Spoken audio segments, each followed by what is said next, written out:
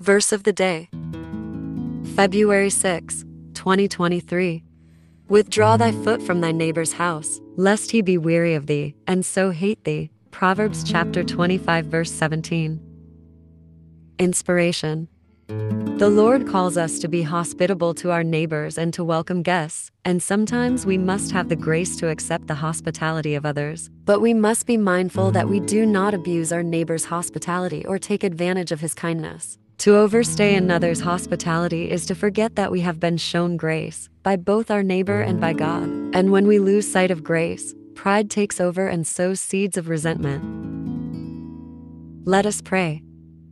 Lord, thank you for working through the kindness of those around me. I am reminded of your grace when others are gracious toward me. Guard my mind against the sin of pride so that I may respect my neighbor's space and not abuse his kindness. Instill in me a thankful heart so that I do not leave my neighbor bitter toward me. In Jesus' name, amen.